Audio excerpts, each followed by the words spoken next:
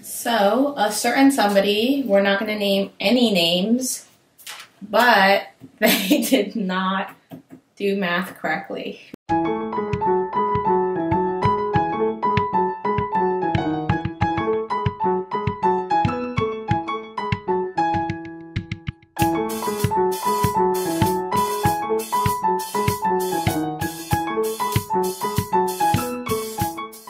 Guys, welcome back to Twins Try. I'm Christy. I'm Wing. And today we are going to be making cheesecake. Let's get started. Everything that we need is out here on the table. First, we're going to go ahead and mix in all of those ingredients. It's cookie, sugar, and butter, along with our pumpkin spice blend. So the texture of this is going to be a little sandy and then we will crush this into the bottom of the liners that we have and stick it in the oven that we preheated for 350 degrees and we'll pre-bake it for five minutes.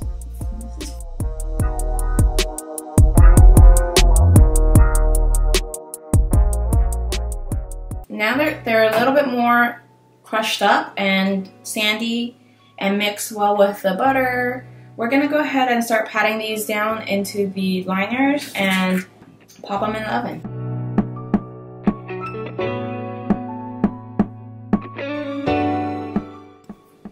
Cool, so now we are going to crush them down.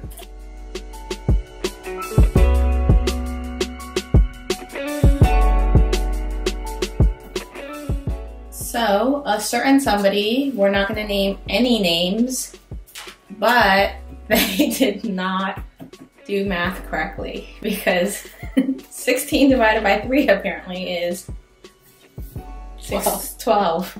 so, well, I didn't think about changing the liners. And I was like, whatever, the recipe called for 16, I'll just put 12 out here.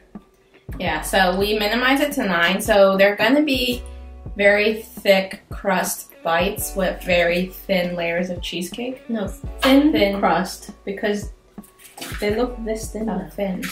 Oh, earlier they were paper thin. Yeah. Either way, we're just not good at math. Not we, it's you. Well, I thirded the rest of the recipe fine. Okay. Well, we're gonna go ahead and pop these into the oven. Again, it's 350. We're pre-baking it for five minutes and we'll see you in five minutes. It's time to work on the filling. The first thing we're gonna do is go ahead and open this up. This is our cream cheese. And then we're going to cream it on high speed for about a minute. So let's go ahead and get started. This is the cream cheese. It's interesting packaging that they have.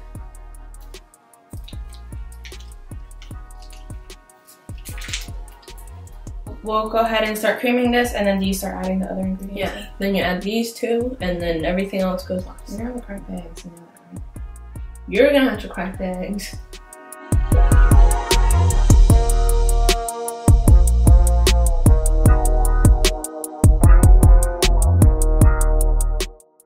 Our bowl is way too small and it was getting all over me. So we're transferring to a bigger bowl. We also heard that we really love to do dishes. So this is really just a way to ensure that we get more dishes to do.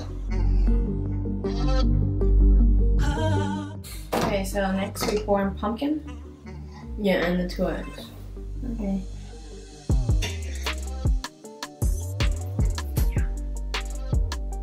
I think the one thing about me is we're not that into pumpkin, but we had a can of pumpkin for whatever reason that we wanted to use up. So this is us trying to clean our pantry. Really? Do on the edge of the surface.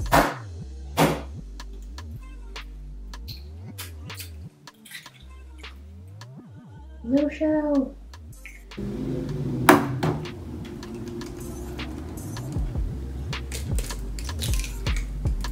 Also no shell. So it's pretty good now, I think, for the most part. Which means we can add our spices. Okay.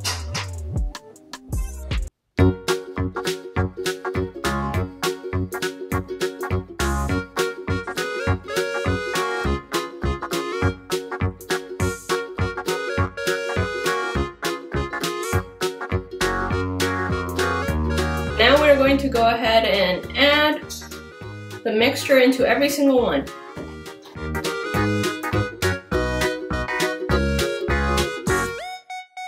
We're gonna go ahead and pop this right back into the oven. For 18 to 20 minutes.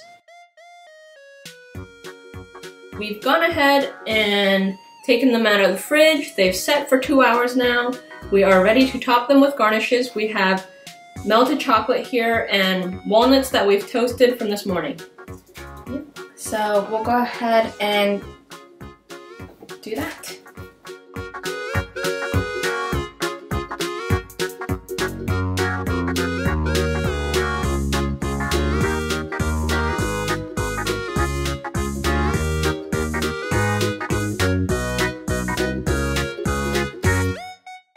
We're now ready for the taste test.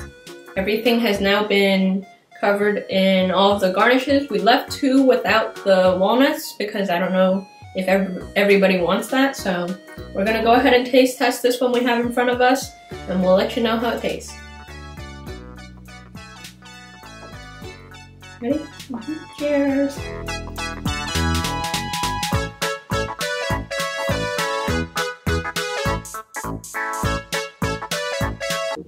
I think I like that we kind of accidentally left the cookie crumbles to not be like crumbled all the way.